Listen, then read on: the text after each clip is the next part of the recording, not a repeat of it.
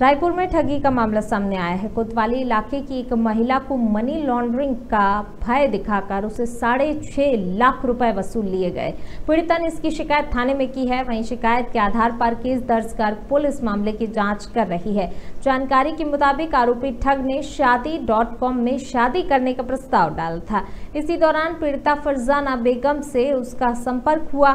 फिर उसने यूएसएस से महिला को उपहार में एक डॉलर भेजा। इसके कुछ दिन बाद महिला को एक और व्यक्ति का फ़ोन आया और खुद को दिल्ली एयरपोर्ट अथॉरिटी एवं बैंक ऑफ़ अमेरिका, दिल्ली शाखा का अधिकारी बताकर उसने पच्चीस हज़ार डॉलर पार्सल से आने की जानकारी दी। इस तरह अपनी बातों में उलझाकर और मनी लॉन्ड्रिंग का भय दिखाकर आरोपी ने अपने खाते में पैसे जमा कर लिए।